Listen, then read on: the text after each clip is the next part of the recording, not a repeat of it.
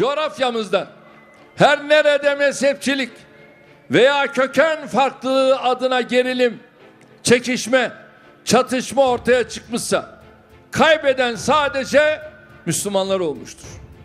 Ağıtlar hep Türkçe, Kürtçe, Arapça yakılmış, zafer çığlıkları ise hep başkalarının dillerinde yükselmiştir.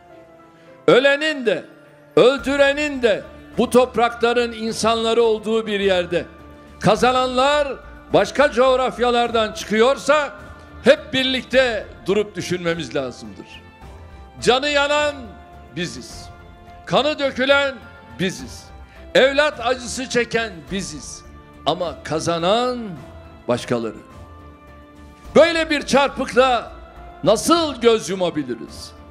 Bu anlayışla biz 18 yıldır ülkemizde herkes için demokrasi, herkes için kalkınma diyerek gece gündüz hizmet ediyoruz. Ne diyor Mehmet Akif? Girmeden tefrika bir millete düşman giremez. Toplu vurdukça yürekler onu top sindiremez. Evet.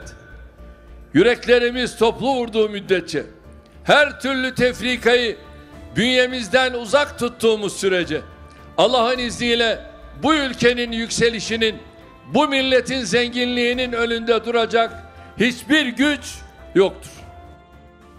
Geleceğimiz için AK Parti Tek parti AK Parti